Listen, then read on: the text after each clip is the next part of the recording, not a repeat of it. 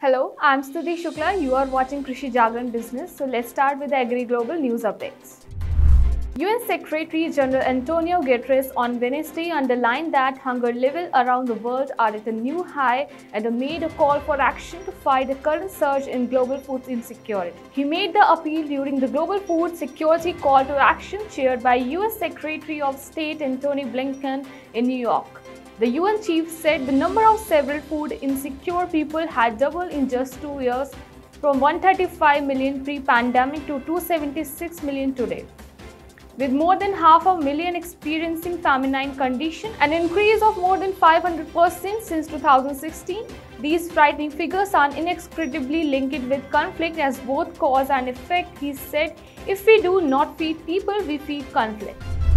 The World Bank will make $30 billion available to help stem a food security crisis threatened by Russia war in Ukraine which has cut off most grain export from the two countries.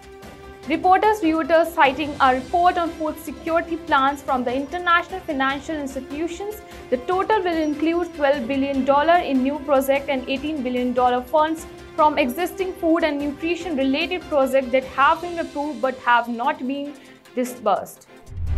USDA Congress would create a loan and guarantee program to expand competition in the meat processing industry under a bill approved by the House Agriculture Committee on Tuesday. The bill would authorize by $20 million a year through 2024 for the loan guarantee. Abigail Spanberger, a Virginia Democrat, said that the bill would be a permanent version of the $500 million USDA initiative announced last summer.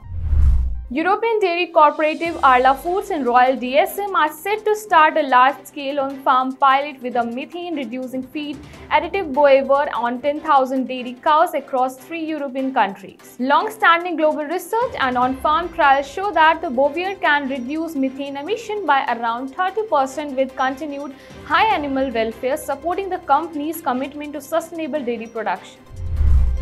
Cypriot farmers dumped tons of milk and lit bales of hay outside the presidential palace in the capital Nicosia on Wednesday.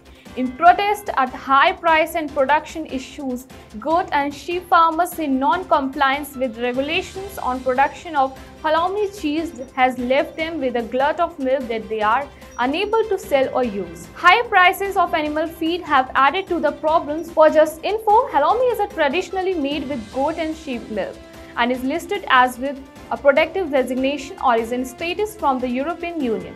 But increasingly, cheesemakers have used more cow's milk considered more palatable for export market. US grain futures fell on Wednesday following a report about the United Nations effort to restore Ukraine grain shipments and as a forecast of ample Russian supplies added to the impact on sentiment of expectations, high prices will curb demand, reported Reuters. Corn and soybean futures also slide as falling wheat price led profit-taking traders said UN Chief Antonio Guterres is expected to publicly disclose on Wednesday that he is in talk with the European Union, Russia, Turkey, Ukraine and the United States to try restore Ukraine grain shipments and revive fertilizer export from Belarus and Russia. For more updates, stay connected with Krishi Jagran Business. Thank you.